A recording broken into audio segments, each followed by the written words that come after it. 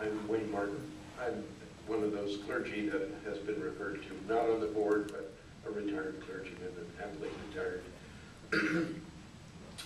And newly settled in Eugene. I've got family here and I'm delighted to be here.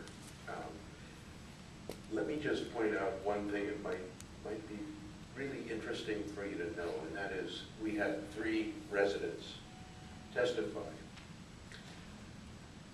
One of them was uh, accepted in our first round and gladly accepted in our first round of interviews. And we picked about 15. We had about five, maybe six, that didn't seem to want to, per- you know, continue for various personal reasons. And so we had a second round, and we were overwhelmed and happy with those new applicants, two of which, Dale